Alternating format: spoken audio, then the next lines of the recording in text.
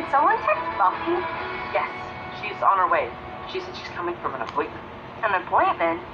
What kind? Her hair appointment isn't until next week. She just had her teeth cleaned. You guys are really close. Yeah. Hey. When did you... How did you? What is that? A stress fracture. That sounds bad. How did that happen? They're very common.